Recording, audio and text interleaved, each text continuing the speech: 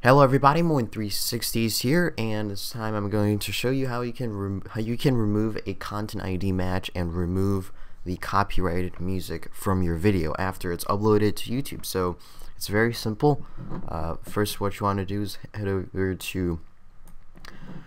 Uh, by the way, if you have gotten a match, content ID match, you would usually get a email that says information about your video and your videos may have been content that is owned in my case by Sony Music Entertainment, but it's still available. In some cases, ads may appear next. to. So what this means is that the so-called copyright owner claimed your video, but they're not deleting it or having a strike against it. They're just kind of matched it, and now they're collecting all the revenue from your video, and so that's not good. So basically, what you want to do is visit your copyright notice page you can also access that from uh, your video manager. Definitely, definitely do not acknowledge.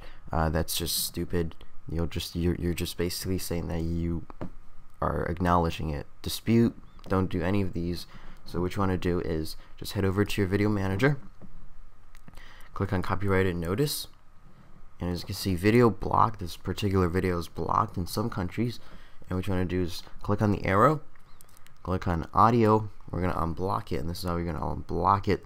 So as you can see we've detected your video as copyrighted audio that may affect its availability. You can fix this by removing a song below. So all you need to do is remove the copyrighted song is in my case it's dreaming will to power and all you need to do is just click on remove the song and then click on save and then okay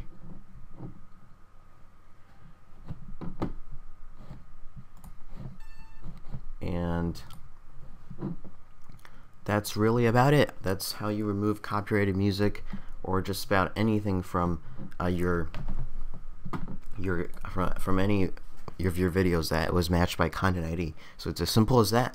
And um, yeah, so I'm Muwen360. I hope this video tutorial helped. See you guys next time. Bye bye.